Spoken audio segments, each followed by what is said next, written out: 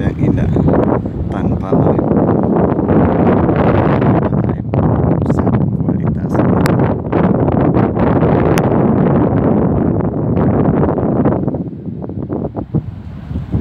tapi masih banyak sayang masih banyak sampah plastik.